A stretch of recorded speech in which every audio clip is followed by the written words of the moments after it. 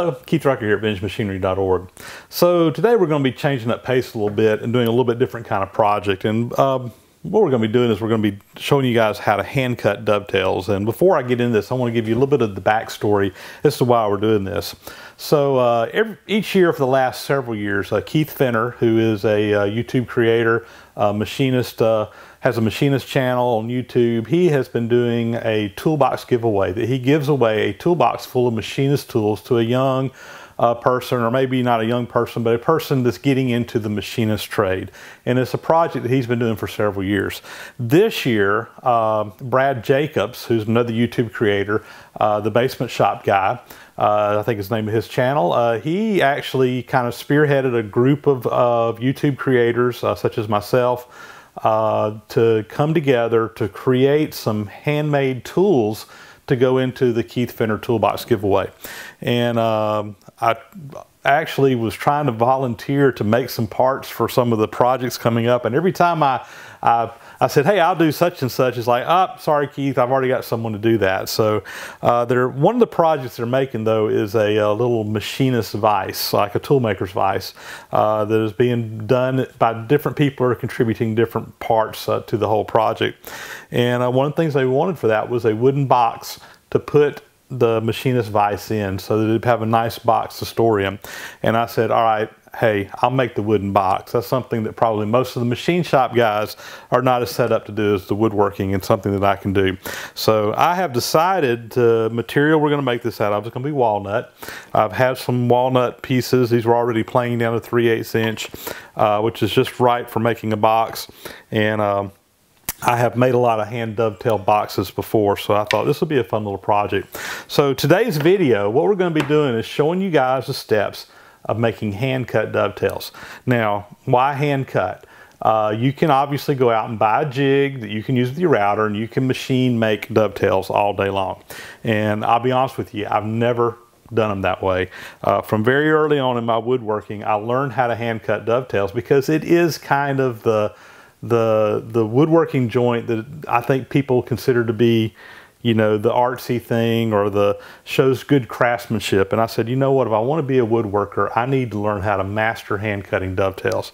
And I have spent a good bit of my time over the last 15, 20 years uh, doing projects that contain dovetails. I made a chest on chest chest of drawers for my oldest daughter one time. It had over 200 hand cut dovetails just in that one cup, one project. So I've got a good bit of experience doing it. However, it quite honestly has been several years since I've done any dovetails.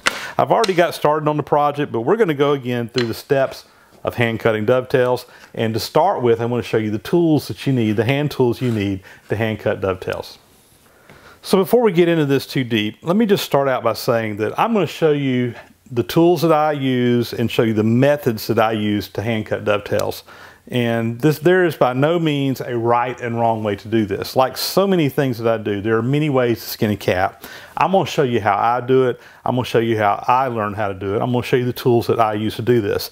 Can you use other tools? Absolutely. You don't have to have this exact set, but this is how I'm doing it and this is what we're going to do. So what are the tools you need? Well, number one, uh, you know, we need a, a good uh, hammer here, a mallet here uh, to use with my chisels. I like using a wooden um, mallet. Uh, they come in different styles. This is one I've had for many years and I've uh, kind of grown accustomed to using it. I like it.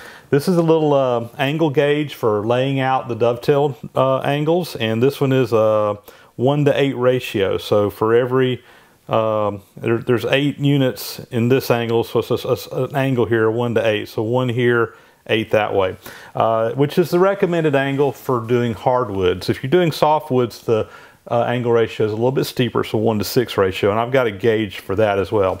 The nice thing about this is, is that one side you've got the angle, the other side you've got a square, uh, and you need both of those for laying out dovetails. I've got a, a steel rule here, just a scale uh, for making measurements with. I've got a, a, small selection of chisels. I've got a complete set of chisels up to I think two inches, but for what I'm doing, you know, these four here, this is from I think a quarter to a half inch or maybe uh, five eighths. I not, I'd have to get out my tape and measure them, but anyway, a selection of chisels, uh, a dovetail saw. Uh, this is a uh, fairly new saw. I say fairly new. It's probably made in the 90s uh, by Independence Tool Company, which is no longer making saws. They actually sold their saw making business to Lie-Nielsen, and I think Lie-Nielsen is making a variation of this one. This was the old original Independence Tool Company, though. Uh, and you can find old dovetail saws. You can find uh, several companies making new dovetail saws. Also have an, an Adria saw that I really, really like. Uh, in fact, I actually like it a little bit better than this one, but uh, it's not in the shop right now. It's somewhere else, so uh, I'm going to use this uh, this one. A dovetail saw uh, is going to have a real fine uh, tooth in it, and it's going to be sawed in a rip configuration rather than crosscut. So if you don't know much about hand saws, the way the teeth are filed, you either have it for doing cross cutting across the grain or ripping with the grain. We're going to be using a rip saw here. Uh, and I'll also say that, you know, some people prefer uh, Japanese hand saws. I'm not a Japanese hand saw guy. I, this is the kind of saw I like. Uh, and I know we'll probably have some comments, people saying, oh, you should use Japanese saws because they're better. I don't think they're better.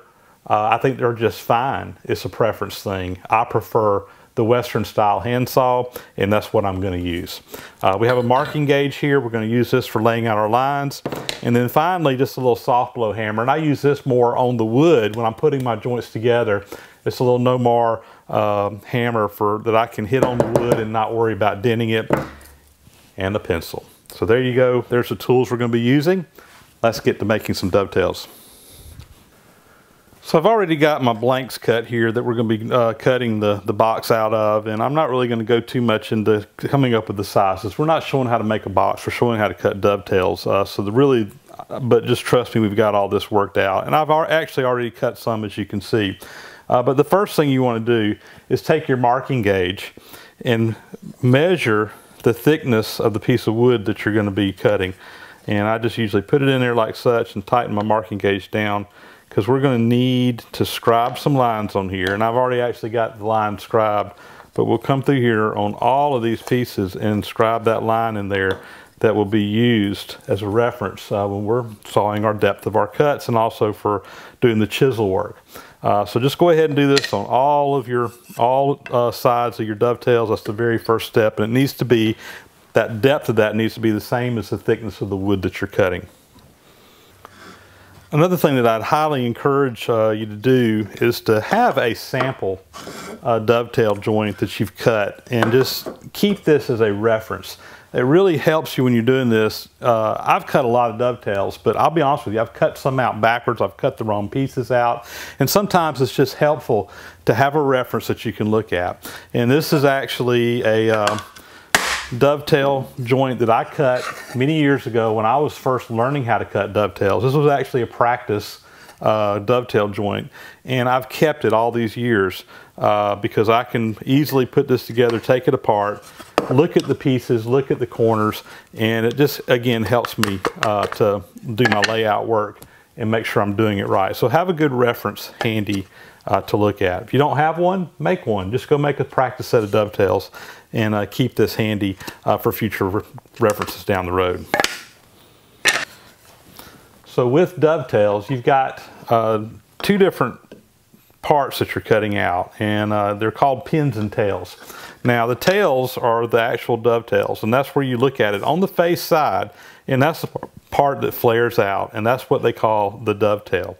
Uh, the other piece, the piece that fits into it here uh, like such, that's the wrong side, like such. Um, this piece is called the pins and you look at it, again you can look at it from the end, it's just going to look like straight pins on the face and uh, uh, on the ends you do see a little dovetail but again look at it from the face. So the face side you got a, just a, a squares, it looks like pins. This is a dovetail, so these are your tails, these are your pins a lot of controversy out there as to which you should cut first, pins or tails. And if you read a lot of these different uh, people who have written articles on cutting dovetails or watch other videos, uh, you'll quite often find people very adamant that you need to either cut the pins first or the tails first. I'm here to tell you it does not matter which one you cut first. Uh, I have cut dovetails both ways, where I cut the pins first and I or I cut the tails first. Uh, but generally speaking, I like to cut pins first. Again, that's my preference. And uh, that's the way I learned. And uh, that's generally what I'm gonna do is I'm gonna cut my tails first. So we're gonna take our short piece uh, that we're gonna cut our tails out of and we're gonna put it in the vise. I always work uh, with the face side toward me uh, because I'm gonna be sawing here a little bit and uh, the face side is the outside, the side that people are gonna see.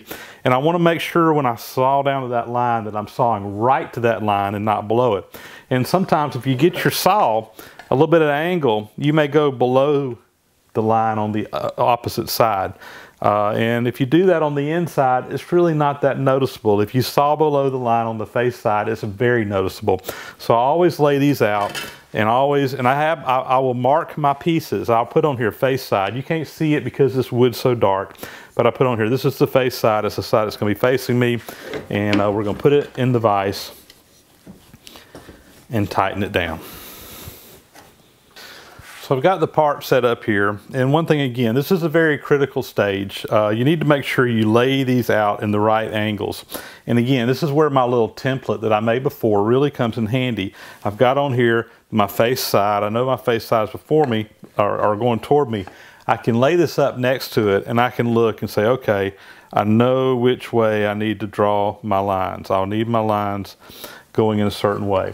And I'm going to take now my uh, little template here and we're going to go ahead and lay these out. I'm just using a pencil. Again, this is some dark wood. You may not be able to see this really well in the video.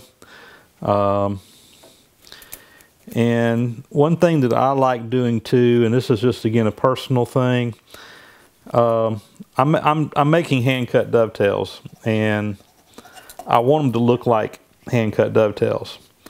And one of the things on hand cut dovetails is that they're not absolutely perfect. You can tell there's a little bit of a variation uh, from one to the other. And I typically lay these out by eye using proportions. If you're getting just doing this for the first time, you may want to measure them and get them all kind of laid out. But I just lay them out by eye, uh, getting my proportions the way I want them. So now I want to come in, I've got the tops of the pins laid out. I want to get straight lines going up and down. So again, I have something to work off of as I'm sawing these. So I'm just going to transfer where these uh, lines come out and draw a line straight down to my mark below, uh, which is my depth. I'm going to do that for all of them across here.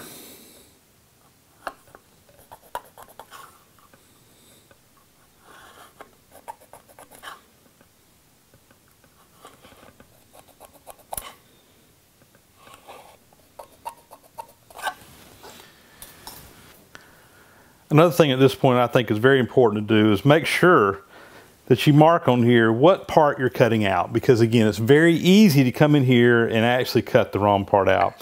And again that's where your reference piece comes in handy. You can lay it up here and say okay I'm cutting out that I'm cutting out that and I'm cutting out that. Now I know what part I'm removing. I get my handsaw. And before we start sawing with the handsaw let me just make a couple more comments here uh, sawing is an art that you have to learn. It's not something you're just going to pick up a handsaw the very first time and make perfect cuts. I one time took a dovetail cutting class, uh, and it was a weekend long course in hand cutting dovetails.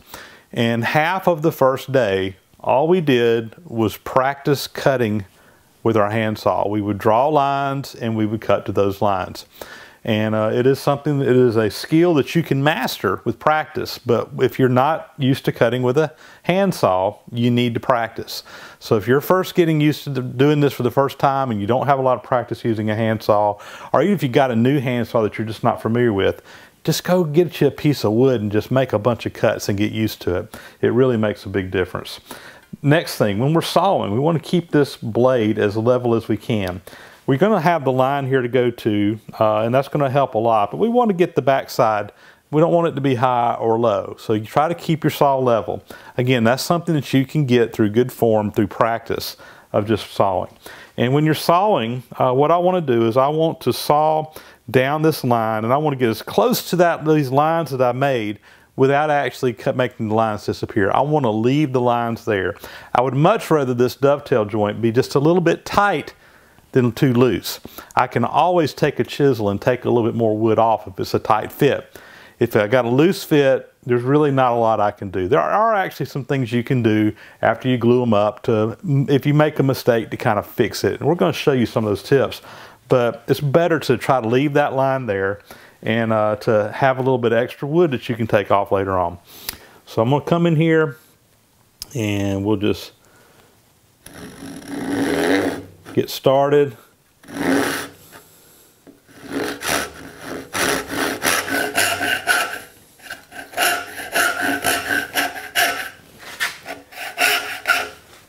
It's hard to see on this dark wood, but we'll go through here and we'll cut all these cuts.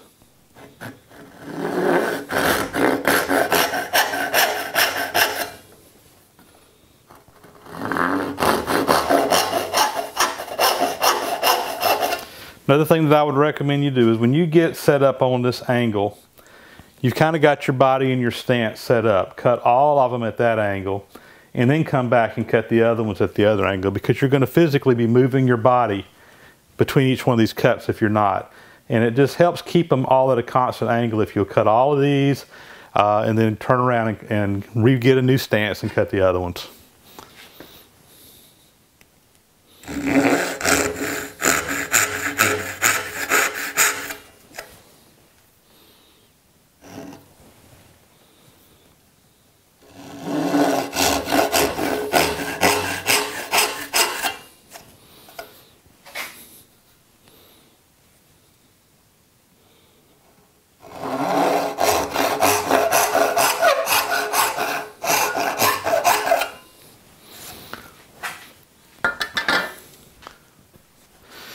So we remove the piece from the vise and now what we want to do is we want to go ahead and chop out uh, the parts we don't want. Again, make sure that you mark on here what your waste is and so you don't remove the wrong parts.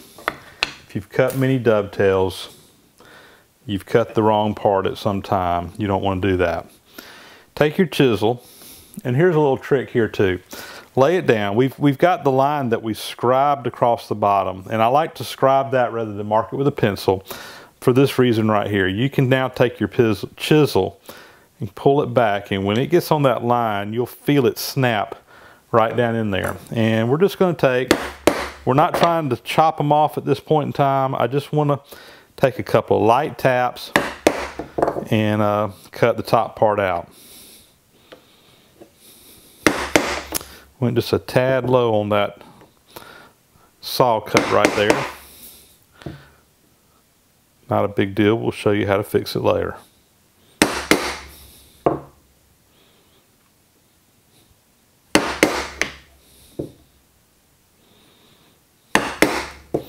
Now I'm going to flip it over and I'm going to do the same thing.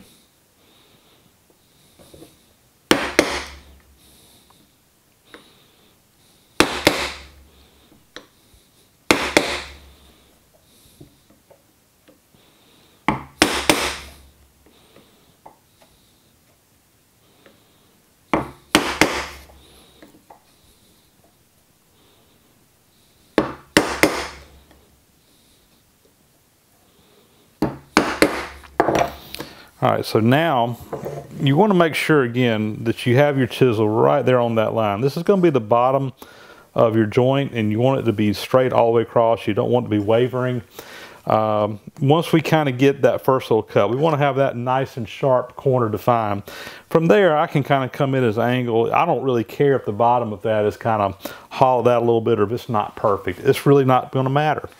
Uh, but the next step here is, is I'm gonna go ahead and we're gonna take the chisel. I've got a little stop here, a little dog in my bench. We're gonna take our chisel and we're just gonna go ahead and, and remove that little bit that we just cut off. Watch what you're doing with your chisels. Uh, you know, I'm not putting a lot of force when I'm doing this by hand. Make sure your chisels are sharp. Uh, I always hone mine right before I use them every time. Uh, that way they stay sharp. A sharp chisel is a much safer chisel than a dull chisel. You're much less likely to have a slip and have an accident.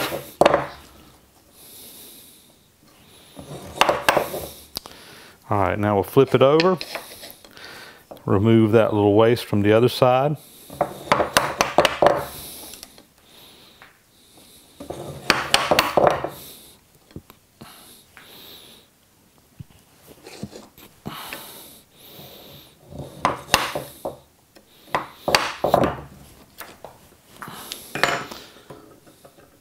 Go to a slightly wider chisel now. Could have done this earlier. And now we're going to go ahead. I'm going to hit these pretty hard now. And I, I go straight in and I tilt my chisel toward me just a tad. I'm, we're not talking about much, just a little bit. And I'm going to hit it pretty hard now and just try to knock that out. On these uh, 3 8 inch pieces, it doesn't take a lot to do this. If you're cutting thicker wood, you may have to remove that stock a little bit at a time to get it out. But now you see we've got our pins pretty well roughed out and cut. Uh, I will come in here with a chisel and I'll just kind of clean everything up. Make sure we got a good flat bottom. Make sure there's not any high spots in there. If there is, taking your chisel, you can come in here, not hitting it with a hammer, just working it by hand. If you got a good sharp chisel, I notice I'm choked up on it pretty close to the bottom there. So, you know, I, if I slip, I'm not going very far with that. And I just kind of work these uh, corners, make sure everything is real nice and it looks good. So one mistake that I see people make all the time is that once they get their pins cut or their tails cut, depending on how they start, they want to come back in here and then using their little dovetail tool, lay everything out uh, to cut the next one. When what you really want to do, what we're after here is we're not after a perfect joint, we're after a joint that fits together perfectly. And again, it may not be exactly like the one on the other side. That's not important. What's important is that it all fits together. So use uh, the, the pins here in this case. We're going to use this as our template to lay out the other side because this is what we're trying to match. So I've got these laid out. I've got my face side up. Again, you can't see the marks on there, but trust me, I can read them. This is my face side up. I'm going to turn them both down where my face side is down. Okay, and then this corner is going to just fold up just like such. I'm going to lay it on here and I'm going to take my pencil, making sure I got everything nice and flush on all sides.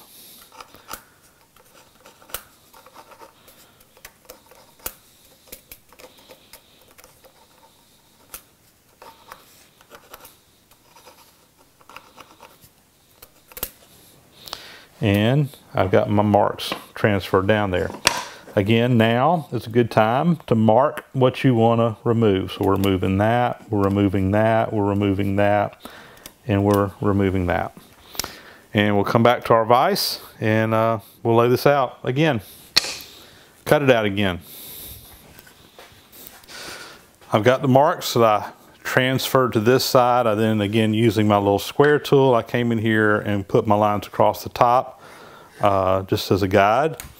And uh, we're going to cut these out again. So in this case, instead of cutting this way, we're going to be cutting at angles. Again, practice, practice, practice. Leave your lines and we'll make all of our cuts in one direction, then we'll come back and make our cuts in the other direction, uh, just like before. And we're going to leave the line.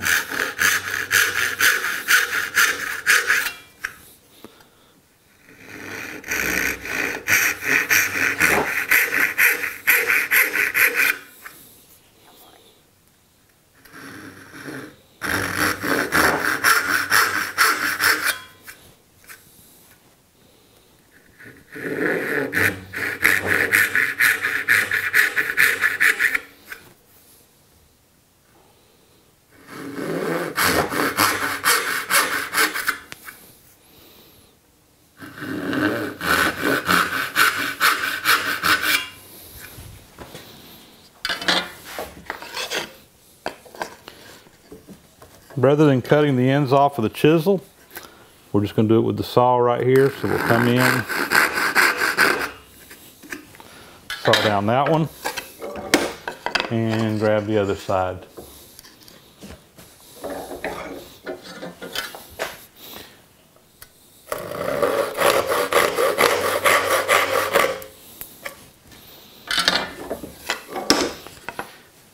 Now let's cut out the other with the chisels. Just like before, we'll take our chisel, we'll come in here, and we'll cut our waste out. Exact same process.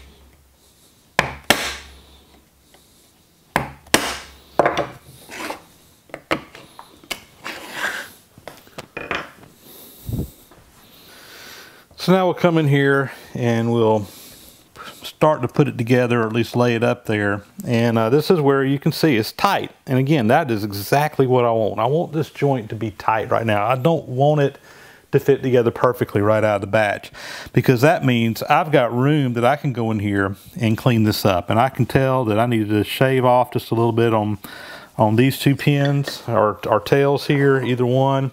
I'm gonna take a chisel, I'm gonna come in here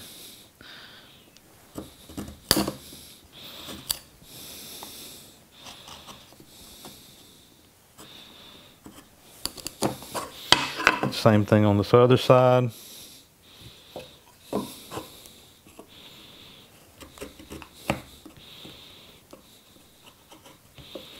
Choke up on your chisels. Don't let them get away from you. You'll cut yourself.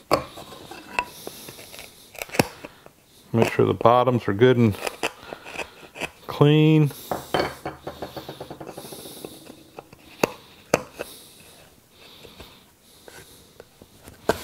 All right, let's try that again.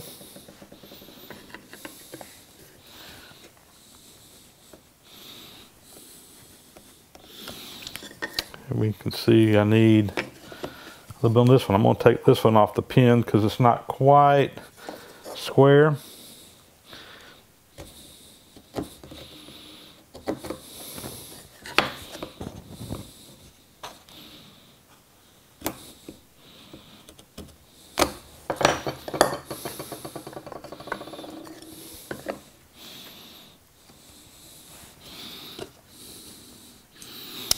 All right, that's pretty tight, but I'm gonna see if it'll go together.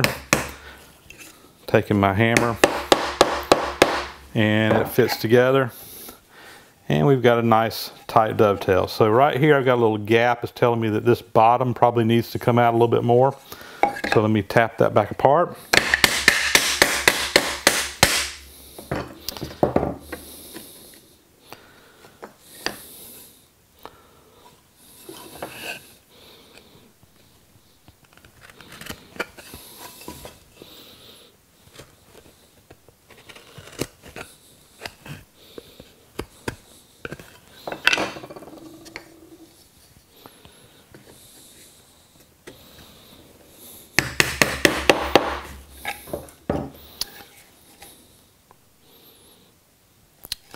Still that one right there.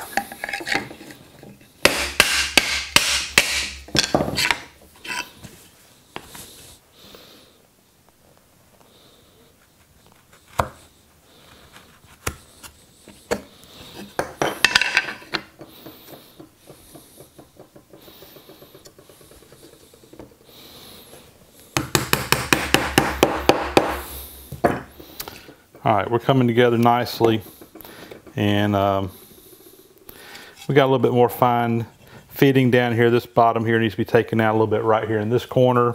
So there you go, guys. That's the process of hand cutting a dovetail. It's really quite easy, uh, like anything else, though. It takes practice. get out in the shop, spend a Saturday afternoon, and just crank out a bunch of these. The first one you do is not going to look great, but everyone thereafter is going to get a little bit better. And with a little bit of practice, you'll be an expert at cutting hand cut dovetails. Now, there are a few little tricks that you can use to clean these up when we start putting them together. Uh, I'm going to go ahead and get the rest of these cut out, and when I get ready to glue this box up, we'll come back to you and I'll show you some tricks on how to maybe hide some of your mistakes that you make along the way because everybody's going to make mistakes. I've got all my dovetails cut now. My box is ready to assemble and I've got my pieces laying down here uh, below me here. And what I want to do is I want to go ahead and get this kind of oriented the way it's going to go together. And um, I've got my my sides marked as to what goes where with letters A, B, C, and D in the corners so I match up uh, the right part to go with the right part. All right. So these two go together, these two go together, and then once we get those two parts together, we can put the whole box together. Now, um, as far as what I'm going to use to put this box together with, uh, I'm using just plain white Elmer's glue. I'm not using wood glue here. And the reason for that is, is because um, I'm gonna put a clear finish on this. Uh, if you're gonna stain it, this will even be more important. But the, if you use a yellow glue, you're gonna have that yellow tint uh, in your glue joints. And what I would much rather have is a clear or really a non-colored uh, glue in here for that. So for that reason, I'm just using white glue. Uh, don't worry about it not being yellow. They do actually make some wood glue that's yellow, but wood glue's kind of, yeah, there's some special things about wood glue, but when you get down to it, it's all glue. Uh, it, it, should hold together just fine. So I'm gonna be using white glue and um, I'm just gonna squirt me some out here on a piece of paper. I've got me a little acid brush here that I'm gonna be applying the glue in and uh, I'm just gonna start with this first joint and uh, get in here with my brush and just get plenty of glue in there. I'm not too worried about being messy. Obviously I want to try to keep the glue that gets on the box parts down to a minimum, but I'm just, we're going to be doing a lot of sanding, particularly on the outside uh, when this is all said and done. I'm not too worried about it being just perfect at this point in time. Uh, we can clean that up later. I would much rather have plenty of glue in here to hold it together.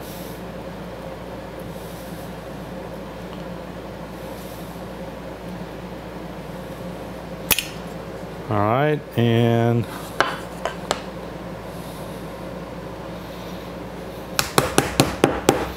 that one goes together. I will go ahead and take a rag and wipe this up. And same thing on the inside once it goes together. Uh, a damp rag here works really well. Uh, again, we're just trying to minimize the mess. We want to get plenty of glue in there. So let's go ahead. We're going to do this joint next. So we'll start this side. I don't guess it really matters, but that's how I did the last one.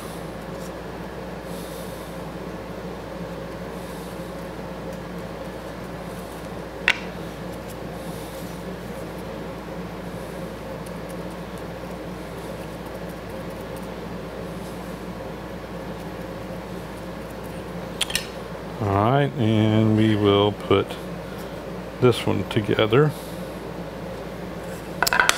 There we go. Got to get it oriented right.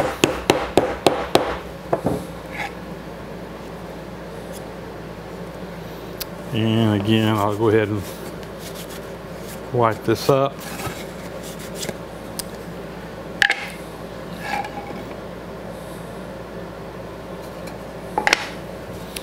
You can go like that.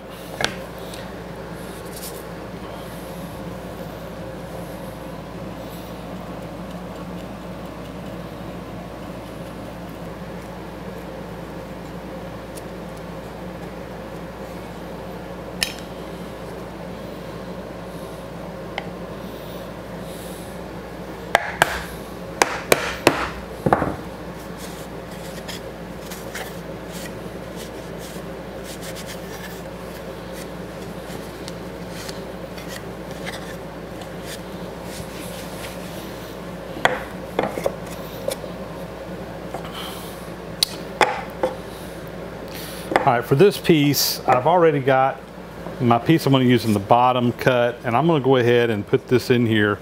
So when I, it's just going to be glued in place uh, all the way around. And we'll probably take a little finishing nail or two just to put in there after it's all said and done. Uh, just for some added measure, but I'm gonna go ahead and put this in here. And you know, depending on the box you're making, you may or may not have a bottom in it like this.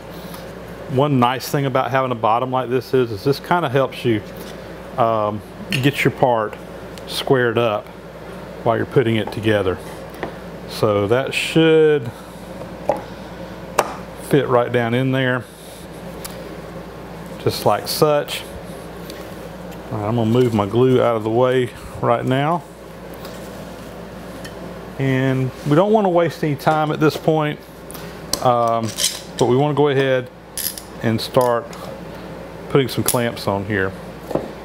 And what I typically will do is I'm going to clamp it just to the inside of the joint. I want the pressure to be uh, closing the joint up together. So if you look, my pads are to the inside and pushing on that wood. I don't want to just really crank down tight on this to the point that I'm deforming the wood, but I want to push that joint together as tight as I can get it. And uh, we'll do the same thing going this way. And I'm going to use lots of clamps. Uh, we want to get this good and tight.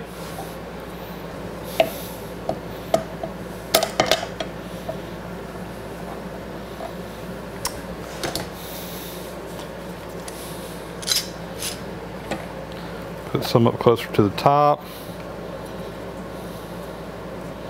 I can see glue squeezing out around my joint there, which is exactly what I want. I want it to tighten in there and get good and tight.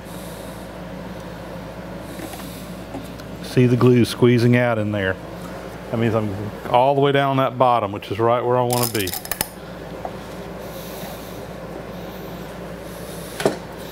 Can't have too many of these little clamps.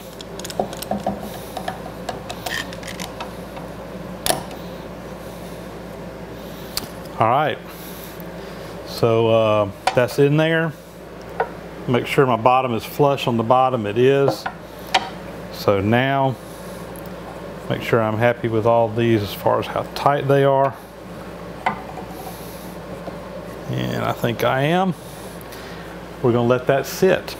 Um, but one thing we can do right here, right now, is let's look in here and see if we got any real loose joints. And I see one right here that I'm not real happy with. So I'm gonna pull this one up and see if I can tighten that up a little bit more in that joint. And I'm seeing some glue squeeze out down there now, so that's good. Same thing up here. You, did you see that? It moved in a little bit. It's exactly what I wanted. Good deal, good deal, good deal.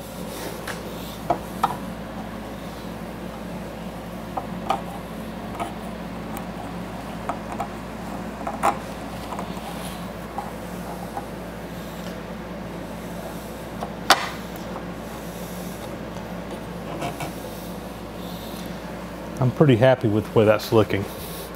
Now one thing you can do is if you get a place in here where your dovetail isn't real good and tight, and most of mine actually look pretty good. I'm not, I don't really have any that are real loose, but I told you I'd show you a trick and I'm gonna see if I can find one that is a little bit loose. Okay, here's one down here, it's just a little bit loose.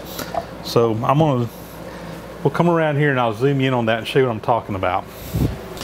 If you look right here, down in the bottom there, my joint's just not coming together just exactly tight like I want it. So what I'm gonna do is I'm gonna come over here to a scrap piece of wood and I'm gonna cut me a wedge and I'm gonna drive it down in there to tighten that up. So here's my scrap piece of wood and um, I'm just gonna take my dovetail saw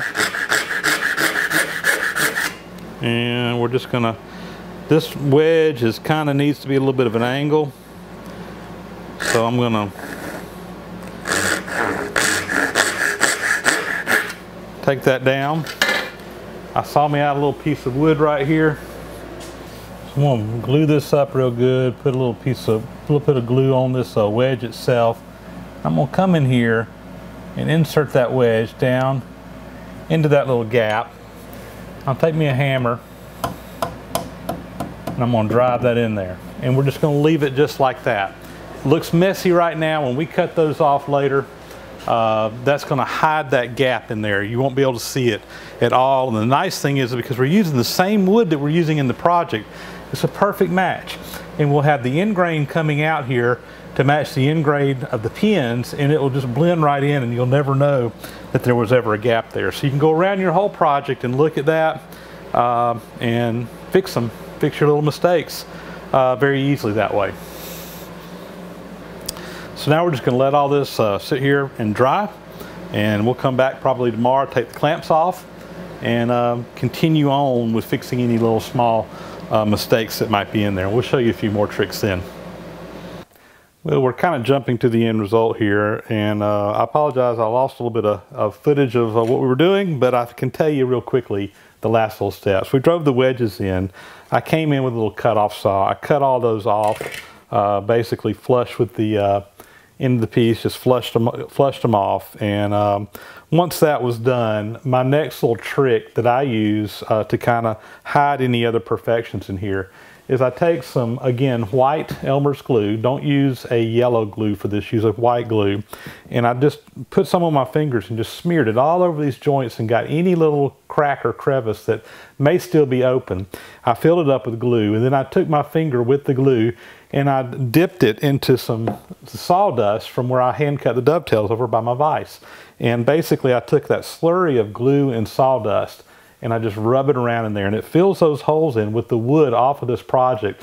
And because you're using, again, a clear glue, uh, it will, when it dries, it will be almost a perfect match. And it will really hide any little small uh, cracks or crevices that are in there. You should try to fill the big ones with a wedge uh, if you have any. But even the most experienced uh, dovetail cutter is going to probably have some little small places in there that you can fill in very easily with the glue and uh, sawdust. Once that was done, uh, and once I let my glue dry, I took this over to the belt sander and we sanded everything down flush. Uh, again, these uh, pins and tails are going to be sticking out just a little bit. You want to get everything sanded down. And the end result is some very, very nice looking dovetails. Uh, as you can see, uh, you can't see any cracks or crevices in there. And that's what we want. Uh, I can't even really pick out where the wedges go in. If you look real close and you know what you're looking for, you can probably pick up on them. But the average person will never see them, never notice them.